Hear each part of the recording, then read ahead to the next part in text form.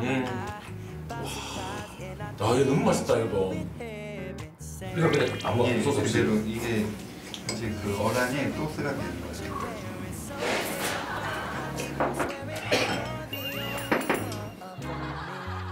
아, 이거 너무 맛있다, 이거. 나는 솔직하게 살찌니까 면을 좀 이렇게 줄여야 된다 고 그러는데 진짜 나는 면을 너무 좋아해요. 어. 저도 면 엄청 좋아해요. 하여튼 너무 너무 투샷 이 어려서 식감도 좋지만은 이거는 부드러운 단어가 살짝 단맛이 있어가지고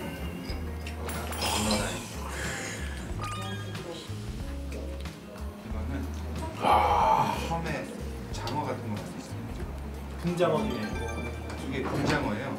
요거는 그 내가 볼때 한 160도, 170도 정도. 예, 보통 튀기면 온도가 이제 170도 정도. 아, 170도네.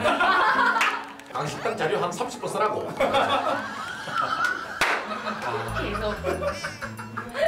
계속 오디오는 이건데 계속 망친다는 첫 떡mas입니다.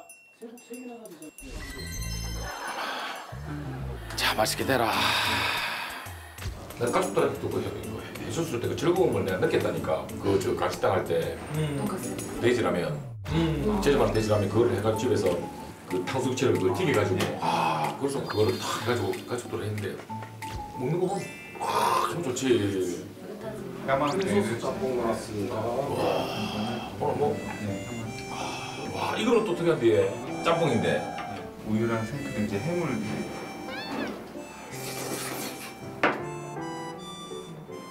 괜찮아요?